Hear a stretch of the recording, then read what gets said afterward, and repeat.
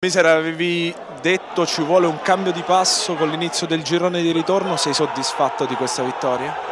Sì, sono soddisfatto per il risultato perché mh, ci voleva, era una cosa che proprio avevo chiesto con tanta insistenza ai giocatori perché al di là delle prestazioni che abbiamo sempre fatto in modo discreto eh, ci, ci, servivano i tre punti, oggi sono arrivati con grande sacrificio, e noi da parte nostra eh, ci, mettiamo sempre tantissima voglia, tantissima determinazione, penso che abbiamo giocato dalla terza in classifica, una squadra che aveva preso 13 gol, 14 gol, non ricordo bene, una grandissima difesa e siamo riusciti ad ottenere il risultato pieno, questo è un grande risultato. I nuovi come li hai visti? Forte e poi nel secondo tempo cruciali?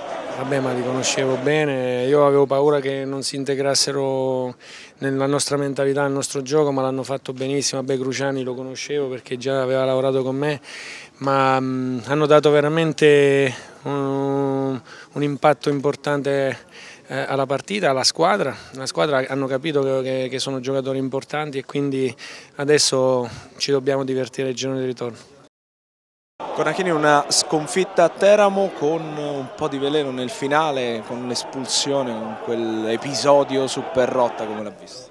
Um, mi dispiace per il risultato, perché probabilmente, probabilmente dico, non è stata sicuramente una partita delle più affascinanti, ma mi sembra stata una partita molto equilibrata, quindi il dispiacere eh, c'è per il risultato, per la squalifica, per le, le mie espulsioni, sono veramente avvelenato perché perché non gli ho detto assolutamente niente e, e, e chiaramente è la parola mia contro la parola del guardalinea per cui eh, sicuramente ci andrò a rimettere io ma eh, la realtà è che, è che purtroppo c'è stata un'incomprensione e, e, quindi sono veramente ancora molto più dispiaciuto di questo. L'episodio come l'ha visto?